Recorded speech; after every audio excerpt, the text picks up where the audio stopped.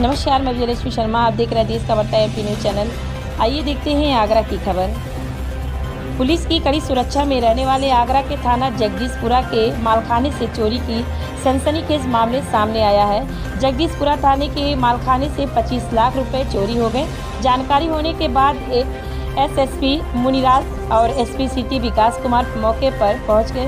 थाने के सीसीटीवी कैमरे चेक किए जा रहे हैं। मामला थाना जगदीशपुरा का है। यहाँ मालखाने में नग, नकदी गहने व अन्य सामान रखा था। रविवार को सुबह अधिकारियों को थाने के मालखाने से चोरी की जानकारी हुई। इसके बाद वे थाने पहुँच गए। एसपी सिटी विकास कुमार का कहना है कि थाने के मालखाने से 25 लाख रुपए और दो पिस्टल चोरी की सूचना मिली थी।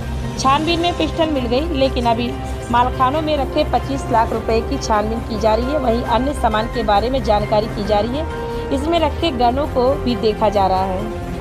क्योंकि एडी साहब बोले हैं कि इसमें बड़ा एक्शन होगा। अभी सुबह सुबह नौ बजे का थाना जगदीशपुरा में पता चला है।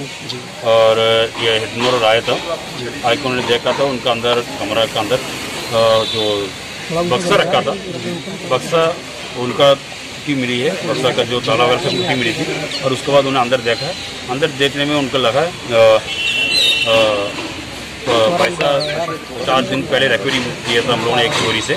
उस पर नगद पैसा पच्चीस लाख रुपये रखा था, उसके साथ साथ गोल्ड की बिस्किट भी रखी थी। और गोल्ड बिस्किट वगैरह बक्सा में पड़ी थी। केवल पैसा पच्चीस लाख रुपये लेके गायब था उससे। बाकी हम लोग कैसे आया, क्या है जब जाँच कर रहा अभी हम घटनास्थल का निरीक्षण किया हूँ।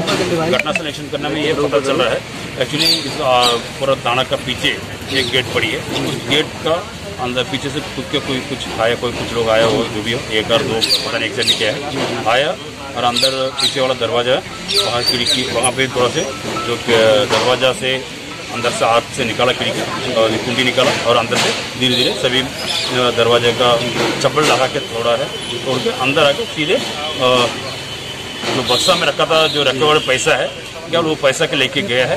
अभी हम कई टीम गठित किया हूँ और सभी जगह सीसीटीवी कैमरा है और हमारा फ़ील्ड यूनिट और सब बाकी सभी यहाँ पे जो भी फोर्स ड्यूटी में लगी सबसे पूछताछ हो रही है और ये पूरा घटना के बारे में अभी जाँच करवा रहा हूँ। अभी पूरा सात आठ टीम गठित कर दी मैंने। और जल्दी से जल्दी खुलासा करेंगे।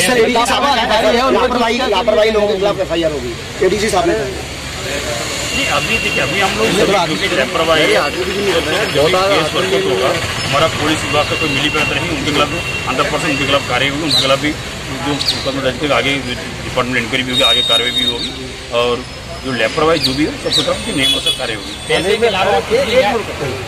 में ये बड़ा सवाल है। हाथ पीछे हाथ पीछे बहुत बड़ा लापरवाही पुलिस का तो है। अभी रात में ड्यूटी नाइट ड्यूटी में लगा है नाइट ड्यूटी कर्मचारी जो भी लगा है नाइट ड्यूटी कर्मचारी सबका उनके खिलाफ कार्य होगा उनके खिलाफ सस्पेंशन का कार्रवाई चलेगी और उनसे सबसे जाँच होगी, सबसे वेरीफाई होगा, उनका नाइट ड्यूटी कितना भी रहा सबका लापरवाही तो मानता हूँ लोग उनके खिलाफ